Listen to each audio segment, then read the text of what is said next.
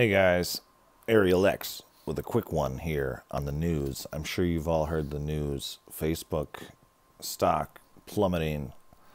Um, it's been expected for a while, yeah. Get off Facebook, get off Instagram, switch platforms because WhatsApp is fucked too.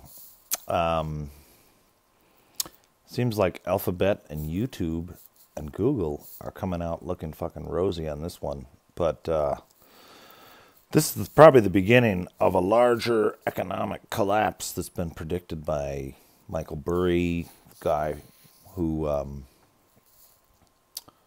Christian Bale played in Big Short, and a lot of other people's Ray Dalio. I think it's one of the dude's names, Dalio.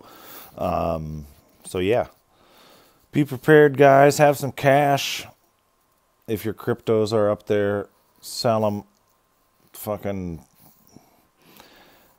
yeah, just just hang in there. Uh, those platforms are gonna change, though. We're gonna have to get like there's gonna be more, probably. Uh, you know, YouTube is right now the easiest way to convey information as a platform because Instagram, Facebook, WhatsApp, they're all down. So people are freaking out.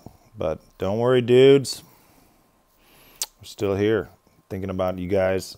Peace.